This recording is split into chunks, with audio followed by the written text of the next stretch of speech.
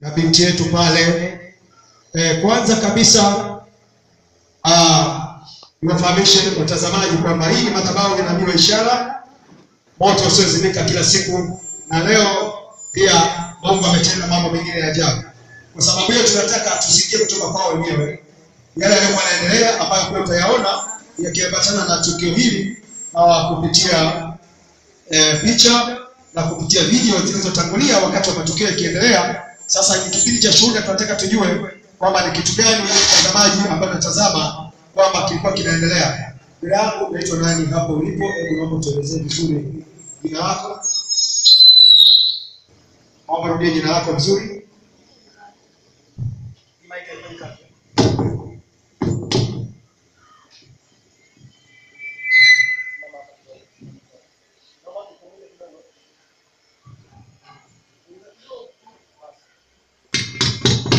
Haleluya.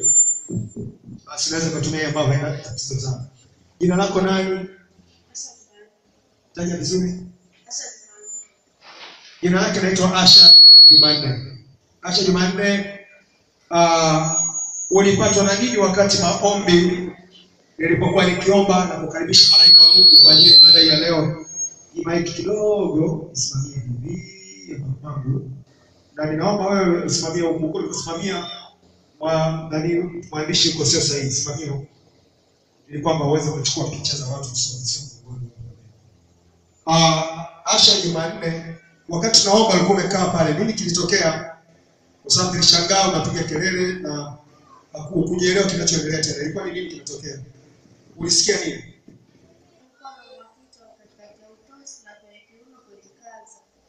Ulikuwa unauma kichwa kwenye utosi na eneo la kiuno uliona limekaza.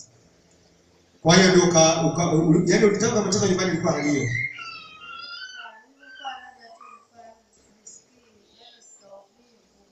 Sawa sawa. Je, baada ile hali kutokea na maana ulijalagana sana hapa chini na mimi nikawajibika kwa ajili ya kuwatimua wale waliokuwa wanakusumbua.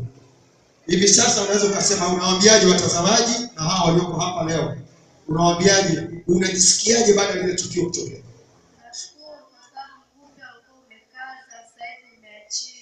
Hebu tuone, hebu tuone kama uko vizuri, hebu fanya fanya ili tuone.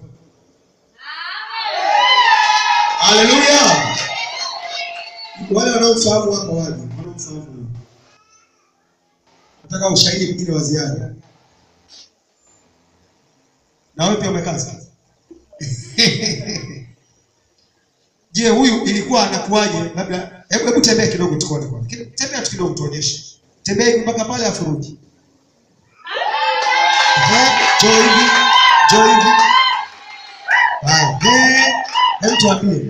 hivi. Alikuwa alikuwa hivyo hivyo au ilikuwa anachechema sana? Okay. Kwa hiyo kuna jini ambayo lilikuwa limekaa kwenye mifupa. Nilipogusa nafikiri mliona nilipogusa kwenye miguu yake, nilianza kufurukuta namna hii. Jini limetoa,